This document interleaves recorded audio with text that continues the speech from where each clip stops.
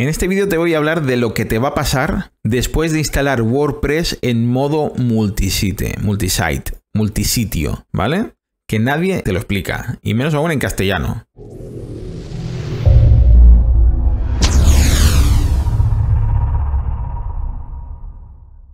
Que te va a pasar es que vas a hacer la instalación, vas a hacer tu web principal, ¿vale? Tu sitio web principal, que en este caso vamos a poner mi dominio, que es w10.es, y luego cuando creas los subdominios, por ejemplo, en este caso vamos a poner el ejemplo de miburger.w10.es, que es un sitio web de muestra que yo tengo, pues lo que va a pasar con ese subdominio es que no va a funcionar. Y es porque hay que hacer una serie de pasos que nadie te los está explicando. Y la poquita gente que lo explica, lo explica mal, o lo explica de otra manera, o lo explica teniendo que crear dominios cada vez que tú creas un sitio web, un, un, nuevo sitio web, en este caso, eh, dentro de ese multisitio. ¿Vale? Eh, es, es, un poco jaleoso todo esto, pero de la manera que yo te lo voy a explicar, solamente vas a tener que hacer este proceso una sola vez. Y te va a servir para cada vez que tú crees un subdominio. Lo que hay que hacer es, primero, crear un subdominio comodín, que se llama. Que lo que hace es que cualquier subdominio que se cree, por ejemplo, miburger.w10.es o pintores.w10.es o mm, leotardos.w10.es, ese subdominio que hemos creado se redirija al directorio principal, que es donde está nuestra instalación de WordPress. Eso lo conseguimos con un subdominio comodín. Después tenemos que asegurarnos de que ese subdominio apunte a la IP del servidor. Y tercero, lo que tenemos que mirar es que ese subdominio comodín tenga instalado un certificado SSL, una conexión segura. Son estos tres pasos que hay que hacer para que funcionen todos los subdominios que tú crees a continuación. ¿Cómo se hace esto? Vamos a ir a mi panel de control en Vana Hosting, que si estás teniendo problemas con tu alojamiento, te quieres cambiar porque no estás bien, o yo aquí debajo te voy a dejar el enlace, que es un enlace de afiliado, que me darás un dinerito a ganar, pero muy poquito. A ti no te va a costar nada porque tú vas a pagar lo mismo. Lo que te voy a recomendar es que contrates un alojamiento como el que tengo yo, que yo pago 70 y pico euros al año y es un alojamiento multidominio. Con esto quiero decir que yo tengo diferentes páginas web y de otros clientes están alojadas dentro de mi alojamiento. Es una manera sencilla, sin tener que contratar un servidor dedicado ni historias de estas, porque es bastante complicado. En, mi caso, yo lo hago así, a mí me está funcionando. Te lo recomiendo totalmente que, si quieres montar más de una página web, que te cojas este alojamiento. Y si no, te puedes coger otro más sencillo, que son 50 euros al año, una cosa así.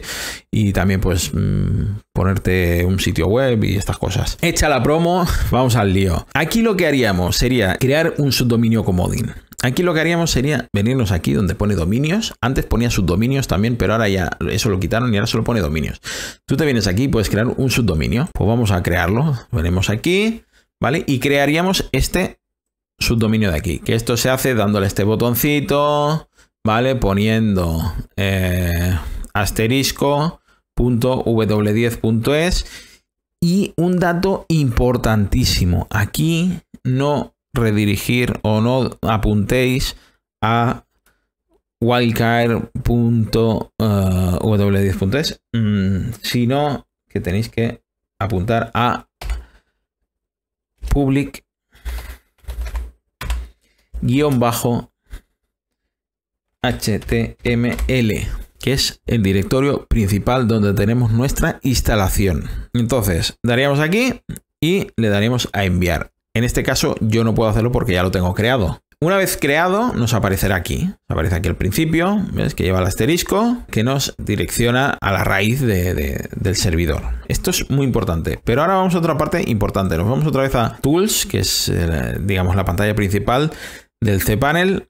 Y aquí nos iríamos al editor de zonas. Aquí, en el caso de que no esté creado el subdominio comodín y apunte a la IP del servidor, tenemos que crearlo nosotros. Aquí en este caso se crea solo, que es aquí dentro del eh, dominio principal, w10.es. Nos vamos a administrar y aquí nos debería aparecer. Como vemos que hay mucha cosa aquí, pues vamos a filtrar por registros A. Ya lo tenemos aquí filtrado y ahora Bajamos, bajamos, bajamos. Vale, bajamos, bajamos, bajamos, bajamos. Va para abajo, va para abajo. Y al final de todo, lo tenemos aquí. ¿Vale? Si no está aquí, tenemos que crearlo. Como digo, asterisco.w10.es. En este caso acaba en punto. No me digas por qué. ¿Vale? Esto lo dejamos igual. 14.000. Registro A, sobre todo. Y que apunte a nuestro servidor, que es este. En este caso, 198, 20, 111, 117. Este es el mío. Como veis, todos los subdominios, que yo tengo aquí los dominios, ¿vale? Están apuntando a la misma IP. Este sería el segundo paso importante. Y el tercero es instalar el certificado SSL, que esto se hace en este caso desde aquí. Bueno, Let's Encrypt. Pues le clicas aquí, nos iríamos aquí abajo, donde pone Issue a New Certificate, vaya inglés que tengo, donde está nuestro subdominio comodín, que es este de aquí, y le daríamos aquí donde pone Issue. Con esto se nos instala el certificado, que es el certificado SSL, que es para que haya una conexión segura entre el ordenador y la página web.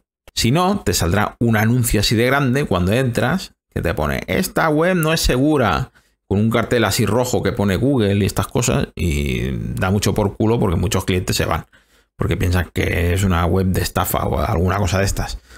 Entonces tú lo que tienes que hacer es instalar el certificado y cuando instalas el certificado, pues automáticamente ya te sale aquí como HTTPS acabado en S y un candadito, que es este de aquí.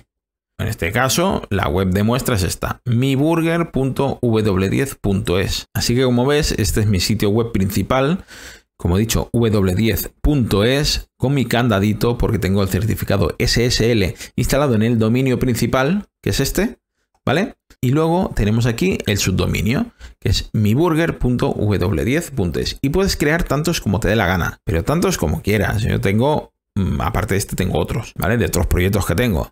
Y a mí, pues me interesa tenerlo así porque lo tengo todo concentrado en una sola instalación de WordPress. Y como digo, mi candadito puesto y sin problemas. La página funciona perfectamente. Así que recapitulando, tienes que crear el subdominio comodín, tienes que apuntar ese subdominio comodín a la IP del servidor y luego tienes que instalar el certificado SSL para ese subdominio comodín. Con esos tres pasos te van a funcionar todas las páginas web. Porque sobre esto que te he explicado hoy hay muy poca información en internet y casi toda la que hay está en inglés. Lo que pasa es que mucha gente también te lía porque te dice que tienes que crear eh, subdominios dentro del servidor que apunten a la IP de tu servidor y tal. Y es un poco enfollonado. De esta manera solamente hay que hacerlo una vez y luego ya te olvidas. Familia, nos vemos en el próximo vídeo.